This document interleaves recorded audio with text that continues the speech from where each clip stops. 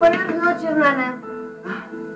Buenas noches, mi niña. Silvana, ¿qué quieres, hermanita? ¿Por qué tuviste que hacernos esto? ¿Por qué te llevaste a Andrés y a Joaquín? Me imaginé que te ibas a poner así. Pero quiero que te quede bien claro que yo no tuve nada que ver con esto. No te creo nada, Silvana. Tú eres capaz de eso y mucho más. Ay, ya, no me ven así. Ya sabes que yo ya me voy a descansar. Sí, yo también. Permiso. Ay. Mi niña Silvana, ¿Qué quieres, Macrina? tengo que decirte algo.